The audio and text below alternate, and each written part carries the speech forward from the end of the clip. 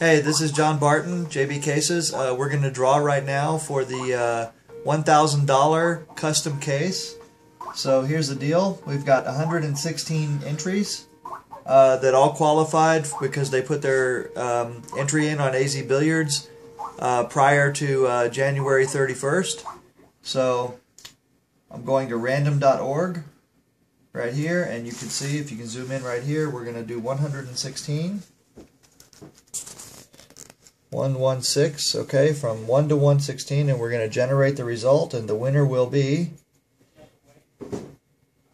the number 8. So I'm going to go ahead and do a screenshot on that real quick. Show the number 8. That's what we picked. Okay, and let's go back and go ahead and tell everybody what it is, and then uh, we'll be ready to go. So, winner is the winner is the number eight. All right, so we're gonna go ahead and put this up, and real quick, quick reply. Winner is. Oops, sorry, need to do it differently. Post reply. The winner is. Five pounds, six ounce.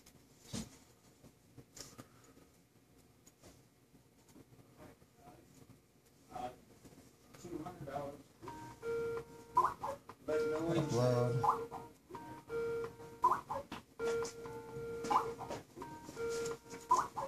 Number eight, and that person is. To do this quickly. Brian B1. Okay, Brian B1, you are the winner.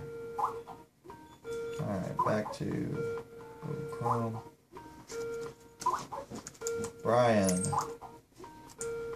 B1.